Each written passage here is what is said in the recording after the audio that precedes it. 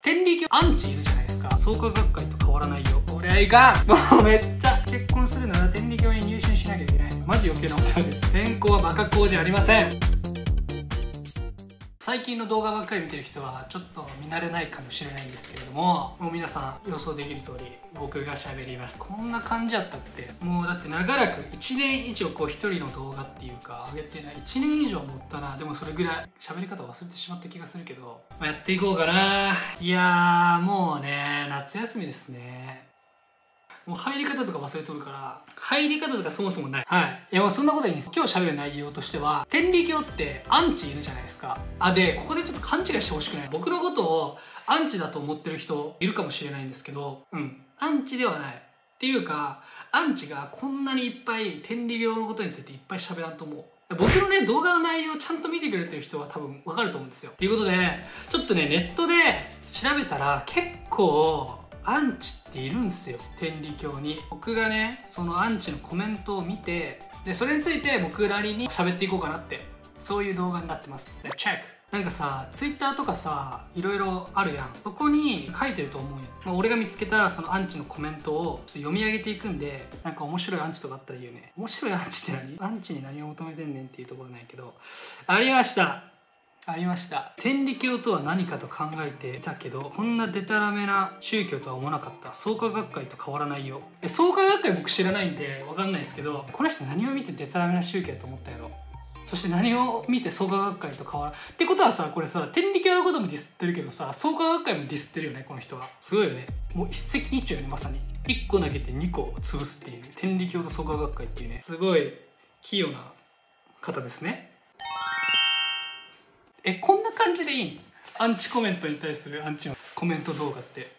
こんな感じでこんな感じでいいんじゃないかな？こんな感じでいいと思います。あさってから子供島帰りに行きます。妻が信者だけど私自身は特に天理の信者でもないです。磯の神神宮にも参拝に行きますよ。関西のロングドライブ楽しませていただきます。アンチじゃない。全然アンチじゃない。アンチであれ。アンチであれっていうコメントもおかしいんですけど全然何？レポート？奥さんが天理教信者でこの人は天理にも行くし磯の神神宮にも行くよっていう。で関西へのドライブが楽しみだよっていうのをあの伝えてくれてる人です。アンチじゃないやつ出てきたらもうこの動画の趣旨。まあでもこんな感じでねアンチじゃない人もそれはもちろんいますよね。意外とおらんのかな天理教アンチって。これあれだ。これログインしないとダメだ。ちょっとログインするわ。天理教アンチを見るために。このちょっとサイトにログインします。来たー。来ました。来ました。こんなに嬉しいことないよ。アンチを見れるだけなのに。普通アンチってさ嫌なもんじゃん見ると。俺嬉しいもん見れて。あるね結構。よしじゃあどんどん行こうか。うちの嫁さんが今日ボソッと言いました。天理教の人ってなんであの人を助けてあげたいとか上から目線でしかもう言わんのやろ。しかも偉そうやし自信過剰もええとこやわ。読めないです。なんて確信ついた言葉なんだ。そんな嫁さんは教会の長女さんです。ニコ。っつってね。言ってますけどまあね天理教の人なるほどね。あの人助けてあげたいっていう、まあ、言い方なんかな。そのものの言い方がちょっと上から目線に聞こえると。なるほど。こりゃいかん。ガチなことを言うとどう？俺そんな聞かんけどね。あの人助けてあげたいとか。っていうかむしろ助けさせてもらうとか何？させてもらうみたいな。これなんていう敬語で？謙譲語？尊敬語？自分を下げた言い方の方が多い気がするけどね。そもそも敬語じゃないんやったっけ？おお初です。僕は親が会長で長男で一応後継予定者です。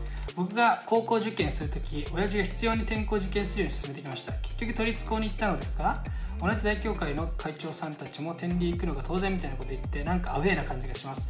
現在も天理に入ってほしかったみたいなこと言ってます。僕は一応国立にやってるしそれ相応な進学校に入りました。勉強三流でと特に行ってやりたいことのない高校に行って自分にプラスになることはあるとは思いませんでした。なんで天理教の人つか家の大教会の人はあんな天理高校至上主義なんでしょうか。僕はただのバカ顔にしか見えません。天理高校出身です。もうめっちゃこれ読みながら笑っちゃったよね。天理高校出身です僕。まあ彼がそう ちょっと笑っちゃってるやん、まあ、彼が目指してたところっていうのが国公立大学だったと。なので相応な進学校に入りましたっていうね。そうね天理高校行くのが当たり前みたいな風潮は確かにおかしいと思うそれは。まあそうね。あのーそういうちょっと待って笑っても俺転校出身やねんけど。Uh, 自分のこと言われてるわけじゃないけどそっかバカ校って思ってたんやみんな。まあでもねあるよねそういう流れ。なんかその天理高校に行くとかさ強校とかさなんか二部とかその地場の学校に行くのがいいっていうまあ親の気持ちもねあるしなんかもともと多分そこの高校に通ってた親が言うっていうパターンもあると思うし母校ってやっぱいいもんやんか。やっぱそういう風に進めてきたんやと思うけどなんかね、まあ、大局会長さんとかがこうやって行った方がいいみたいな言うと確かにちょっとね尺に触る気持ちはわかる。でもバカ子って言われたこの俺のね元こう転校生からしたらちょっと一つだけ言いたいのはバカって言わんといて。バカって言わんといてって何？全然はっきり言ってないやん。えでもね天理高校ね俺もそうなんやけど俺が言うとあんまりちょっと名を汚すみたいなあれやけど一応進学クラスみたいなコースみたいなのあんのよ。スポーツに特化したコースと、まあ、普通科って言われるところとあとはまあ一応進学コースみたいなところあるんやけど、まあ、そこの進学クラスは本当にガチで国公立をお育校輩出しようとしてるところやからその気になれば全然いけると思うし転校入ったら国公立無理っていう話は全くないしそれ普通科の子でも全然国公立1個おるしね。勉強三流って言われてるんでちょっともう何とも言えないんですけど僕が言うとね説得力がなくなるのでこれ以上喋るのやめとこうかな。でもそう。結局一流な人は何しても一流ない まあこれぐらいにしとこう。長い。みんな長いよ。もっと簡潔にまとめて。前世の因縁とかって見たんか？そもそも宗教って今の自分の自己検査の場じゃないの？見てはないんじゃない？そうね。因縁。いや俺もちょっとこれ勉強不足やな。このアンチコメントに対する返しがね勉強不足すぎて結局何も返せんっていうのが今のところの俺なんやけど。因縁ってさ過去の因縁もその今の因縁もつながってるっていうものやんか。からそう考えるとするとその前の因縁というかこう今につながっている自分の昔の因縁とかっていうのを考えるっていうのはその自己研鑽にもなるんじゃないかなってって俺は思うけどどう思いますか？うわーちょっと長文やけどこれ読みたい。付き合ってた彼氏が天理教の後継者で修行中でした。親と喧嘩して親に負けて後継者になったみたいです。そんな彼私に結婚するなら天理教に入信しなきゃいけない。入信しなきゃ別れるって言ってきました。親様物語を読んで全てが分かるわけないのに天理教をバカにしたように嘲笑ったから別れる。そんな心の持ちようで病気治るんなら医療医者いらんし苦労しないしみんな天理教に入手してるわ。親さん物語読んだだけで納得できるか？一般人なのに天理教って宗教も知らなかったし理解するだけいっぱいいっぱいなのに天理教を知れば知るほど疑問やえっと思うことが多いです。結局天理教と結婚と結婚したくなくて一般人と結婚したいってことは信者獲得したいだけなんでしょう。上からそう教えられてるのか知らないけど長文失礼しました。うわーすごっ。親様物語読んだだけじゃわからん、うん、俺が言えることはそれだけ。それだけってことはない。でも親様物語読んだだけって絶対そんなことないの。どんなアプローチの仕方？理解してもらおうと思って親さん物語。あれなんかね親さん物語って多分漫画？多分漫画であるよ。俺もちっちゃい頃なんか読んだことあるんやけど。なんか漫画でその親様の生い立ちとか幼少期の頃とか天理教の教えとかを教えようっていう、まあ、本があるんやけどその彼氏的には、まあ、入りとしてこうなんか分かりやすいよっていう一つの教材として多分提供したんだと思うけどそれだけではそれは分からんよね。天理教に入信しなきゃ結婚できないっていうね。これ結構あるあるなんじゃないですか。これ多分天理教の後継者あるあるじゃない。後継者の奥さんとしてその天理教を信仰してないのは教会としてどうなのみたいな。うわーでもこれ大変やったね。親に負けて後継者で。そもそもこの人もあんまり後継者になりたくなかったんかな。親に負けて後継者になったみたいって言ってるね。いや俺の近くでもおった。女の人は結局なんか信仰しきれなくてなんか結局別れちゃって、まあ、入信しなきゃ結婚できないっていうのは、まあ、おかしな話よね。信者獲得したいだけなんでしょって思われちゃうよね確かに。でも決してそんなことないやん。あくまでも信仰って個人の問題やからさ結局優先することがおかしくなっちゃったやろな。教会経営というか教会の見栄えというかそういうものに意識しちゃったから周りの人が。信仰しなくてもさきっといい形ってあると思うよね。何々した方がいいとかしなきゃいけないとかそういう概念をなくした方がいいと思うね。うわーでもこれめっちゃシビアや。んそれ嫌いになるよね。はじめまして夫が天理教でかなりきついです。正直親様おじば青年さんや婦人会小敵隊とか聞くだけで嫌になるくらいになってしまいました。初めは共有しないとか言ってたんですが付き合い祭やその手伝いと結局毎月やらされるし奈良の実家に行ったら必ず話聞きに行かされます。おかげで奈良に行きたくないです。月に1万のお供えは1回始めたら下げられないとか言われるしということ。これは夫の考えなのでなのか。風邪をひいたら運びが足りんとかマジ余計なお世話です。近所の子供を助けるために自分の子供の命をどうぞって考えも理解不能です。聞けば聞くほどじゃあなんで自分の命を捧げないのかと思います。本気でストレス溜まっていてぐちぐちすみません。我が家が離婚するときは確実に宗教問題だと自覚しています。うわそうね。もうノイローゼですねこの人はね。天理教ノイローゼです。だからこれ話を察するにもともと天理教の信者じゃない人だったよね。けどこの人はゴールインできたパターンや。はいはいはいはい。でこの人が後継者その旦那さんが後継者かどうかは分からんけど月に1万のお供えは1回始めたら下げられない。ああなるほど。いや1万円最初お供えしてたと。けど次から5000円でいい？みたいな話になるといやいやもう1万って決めたんやからそれは下げられんよとか。まあこれどうなんでしょうね。これはお供えの概念というか最初に設定したお金を下げたらダメ。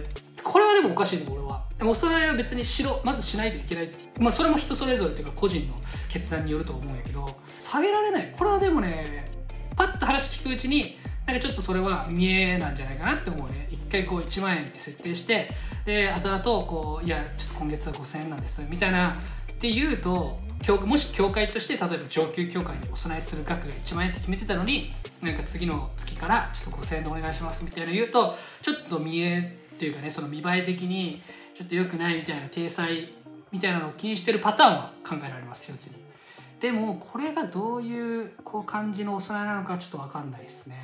これ結構衝撃ないけど近所の子供を助けるために自分の子供の命はどうぞって考えを理解不能です。どういうこと？どういうこと？あーでもこれさっきの親様物語じゃないけどさなんか親様確かそうやん。その自分の子供のねお命をお返ししてでなんか確かその時預かっていた子供さんの身情を助けるみたいな話があったと思うんやけどそれになぞらえてるのかな？そういうこと？じゃあなんで自分の命を捧げないのかと思います。すげえな。もう旦那さんの命捧げてっていう。ストレス溜まってますね。かなり。まあでもねこの結局まあこれもさっきもそうなんやけど人間関係なんですよね。なんか教えがどうこうとか何々がどうこうとかじゃなくて結局人間関係がうまくいってないっていう家庭が多い、まあ、旦那さんもそうやしその人もそうやしなんかお互いがさ本当にその人がどうしたいのかっていうところを話し合えてないっていうか、うん、一方がこう押し付けるのもダメやしこう不満を持ったまま「はいはい」っていうのもおかしいし私はこう思ってるであなたはどう思ってるっていうこの受け答えがないっていうのはもったいない。いややってるんかもしれんけどね。そういうのをした上でなんかお互いがもっと理解するっていう道もあるよ。って僕は思いますね。俺は何を知ってんねんっていう話なんですけどあのそう思います。人間関係だと思います。止まらんわこれ。すごいわ。まあねちょっといろいろあるとは思うんですけど面白いね。面白かったね。普通に面白かったんやけど。楽しみましたアンチコメント。アンチっていうかなんていうかそもそも天理教って何か知らないっていう人でなんか批判される人は多いかなっていうのは思いますね。なんか天理教に対する批判っていうかさ天理教信者だったその自分の近くにいるその人に対しての不満とかが多くない？今話聞いてる感じ。結局だから人間関係の悩みっていうかそこに行き着く気がするんですけどまあでも人それぞれいろんな思うことがあるんだなっていうのは知ってでも僕自身このアンチコメント聞いてすごい楽しめたのでちょっとこれまたやっていこうかなと思ってます。結構ありましたよ。わざわざねこのアンチコメント見るためだけにログインしたからね。ログインっていうかそのあの俺アカウント作ったからね。そうミクシーの。ミクシーにあるって言っちゃった。天高はバカ高じゃありません。ちょっと出すわ。マジすごいやつ。ちょっとすごいやつ出すわ、うん、見といて。